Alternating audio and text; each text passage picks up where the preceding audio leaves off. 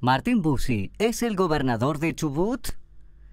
Escucha y piensa antes de contestar. Desde chiquito estuvo con Das Neves y hace poco sumó a Eliseche al gabinete porque busca conciliar al más grande con el más chico. Sí, así, con esa carita de campeón. En Buenos Aires, o no lo escuchan o lo putean.